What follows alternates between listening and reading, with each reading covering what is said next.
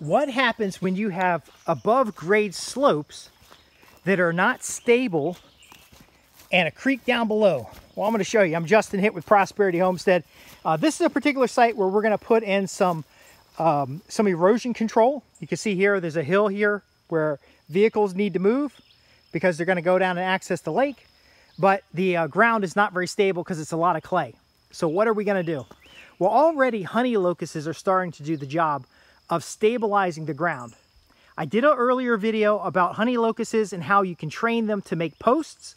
We're to not want to dig these up. We're want to train them and crowd them to make posts. By training them, we're to uh, ask the plants to, to go upright by either staking them in or, or, or tying them down. And then we're to cut out any of the uh, the side shoots. So if there's three or four trunks, we're gonna we're gonna uh, favor one trunk, put a stake next to it, make it upright. Now, that's gonna solve some of the problem because the honey locust has got a big webbed uh, root system um, that tends to spread if you cut the plant off at the ground. It's like a bamboo. Uh, it's just not a grass. But to crowd it, what we'll do is I already see a pine in there, so we'll make sure the pine comes in.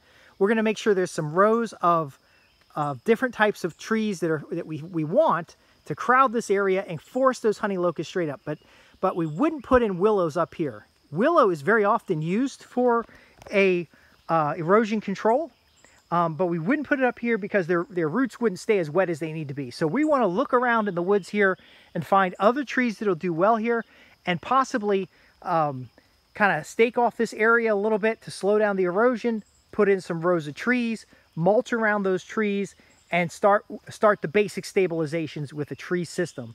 But we don't want those trees to be so big that we still can't get a vehicle down here because you can see the road splits. And so we come down the hill here and we also have, there's a road on the other side. It goes back further in the property. We essentially want to have trees and shrubs to hold soil in place with a good strong cover crop and that would come all the way down here so we would cut off the branches on a lot of the trees over top and I, I see there's some running water right here. Uh, so we would, we would want to get that in place. And then we would do a little tiny bit of grading about how we want this water to move down this hill. Because it's always going to move down a slope like this. We got to be mindful of it. Uh, so we just want to slow it down. So that grading might, uh, might run the water across this way. Okay. So to run it this way might be a couple bumps in the road. It might be uh, logs. It might be a culvert. Depends on, really just depends on what the, the owner wants to do. And it depends on what's appropriate for how they're going to use this land. This land comes down to a fishing hole. And there's a little fishing hole down here. And so they want to be able to access it easily and without a bunch of disruption. Now see, this hill gives you a good example of a good, let it be er, erosion management. So we can favor some of the plants in here. We can also put in more grasses because we do have the light.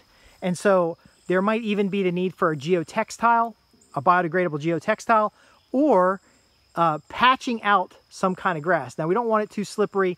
Rock or gravel might be okay, but again, that channel of water coming down here, we want to slow it down and possibly slow it into a basin here so that it can go out into, it looks like it's going to go out into the woods over here. Just got to slow it down. Um, but this hill can be planted out with shrubs small bushes and such like that because you want to be able to get around it and not have a bunch of trees grow on it.